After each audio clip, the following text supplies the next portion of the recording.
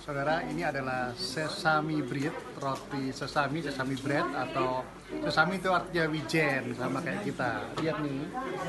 Jadi ini sangat mengenyangkan untuk perjalanan.